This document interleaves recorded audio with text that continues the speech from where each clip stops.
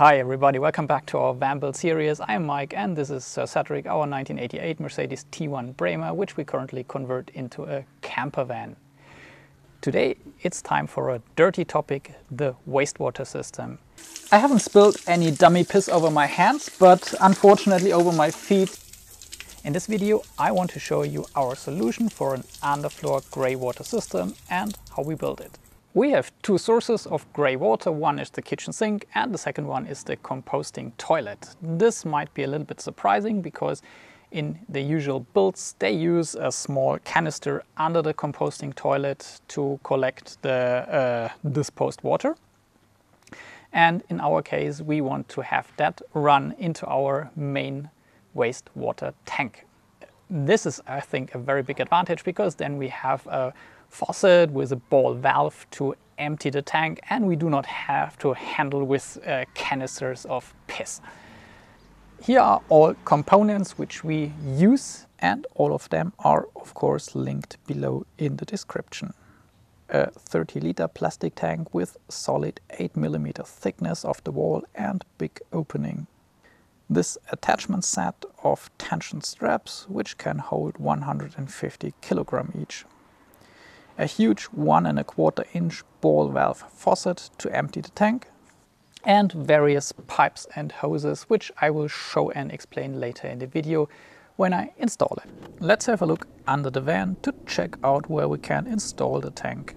The Mercedes T1 has this perfect space on the left hand side, which equals the space of the fuel tank on the other side and we can mount the tension straps over these support beams without drilling new holes anywhere into the chassis. And here comes my special design, which is quite the opposite of the usual one. So usually you would drill holes in the floor of the van and mount the tank like this. But I think this has the disadvantage. First, uh, you have to drill new holes, which I don't like. Secondly, then the tension straps really press into a very small area of the tank, which is not really ideal. That's when I had the idea that I still have this aluminium box from the fire truck equipment. And uh, it's really like custom made for our tank.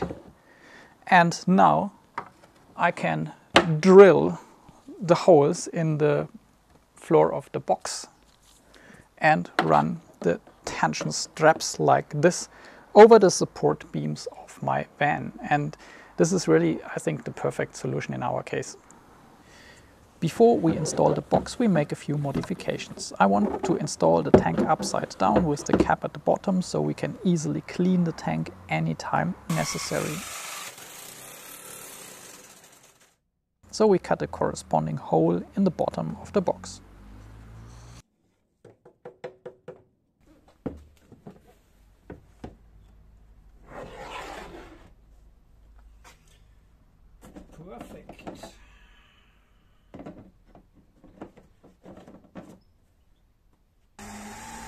Then we have to install the water inlet and outlet, each one and a quarter inch in diameter. Let's start with the outlet and drill a hole with the hole saw. We use a big ball valve faucet to get the wastewater out of the tank quickly. I think the bigger the pipe and the faucet, the better it is. Of course, we have a conflict with the box now, but instead of cutting the box shorter, which would be a viable option, we decided to cut a hole for the faucet because that gives it a cleaner and nicer look and also supports the faucet when we open and close it. Next is the inlet. Again, cutting the hole with the hole saw. Right after the inlet, we install a basic non-return valve, which might not absolutely be necessary, but can't be wrong.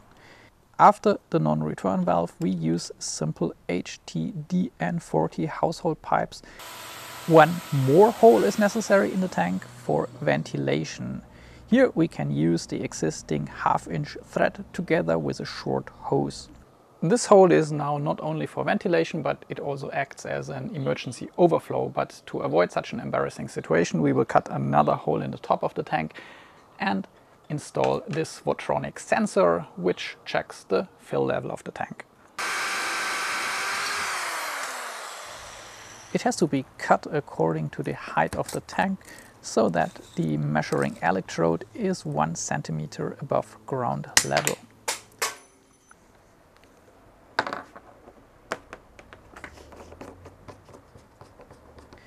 Then we drill the holes for the straps at the front end of the box and at the bottom in the back. At the front the tank is fixed by the wall of the box, at the back the straps will fix it. And at one side, we attach a piece of wood to prevent the tank from sliding left or right. Now let's cut the two necessary holes in the floor of the van and of course never forget proper treatment with primer and paint. For sealing the holes I will use Sika 521 but I do that later when I install the floor of the van. That's now the final setup for the tanks. We have our aluminium box with the 30 liter tank, the tension straps to hang it, the fill level sensor, inlet from the sink and from the toilet with the non-return valve and here is the faucet to empty the tank which looks like this and you can open and close that and this here is for ventilation slash emergency overflow.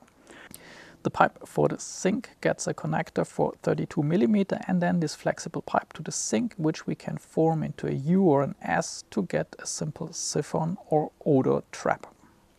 The pipe for the toilet gets a hose connector and then we continue with a 3 quarter inch or 19 millimeter hose inside the van to the toilet. But building this toilet is a story for another video. The two bands of black rubber are just to protect the contact area between the tank and the steel beam of the chassis against mutual chafe. And now let's try and see if it really fits under the van. Unfortunately, this is now a crappy position to work if you don't have a lift. By the way, we do not insulate the tank because we don't want to use it in winter temperatures, but it would be easy to install a heater mat in the box below the tank if necessary, or just leave the tap open if conditions allow that. With the height adjusters, which are part of the attachment set, it's easy to fasten the tank tightly under the van. At the moment, the two pipes coming into the van for the sink and for the toilet are just provisionally connected because the floor isn't yet finished, but we can test the system, of course.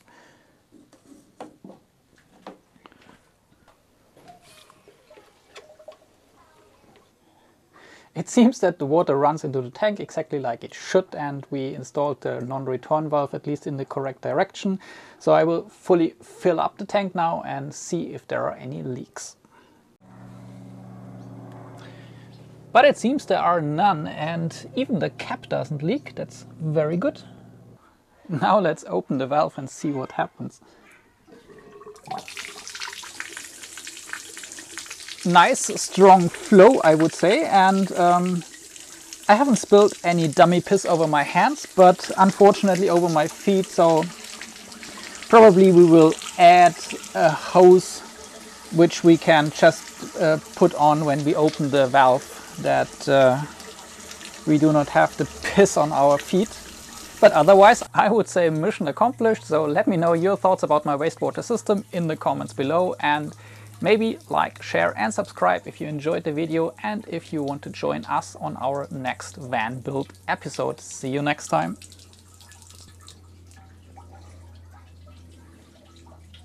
no, stop, wait, this time we really need a supplement because I was not happy with spilling the piss over my feet. So I bought this 40 millimeter short hose and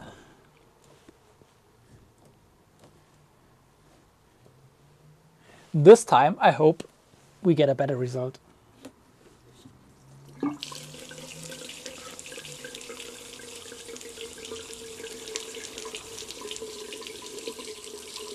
Yes, much better. So with this small improvement, I think the project of the grey water tank is finished. And now, see you next time.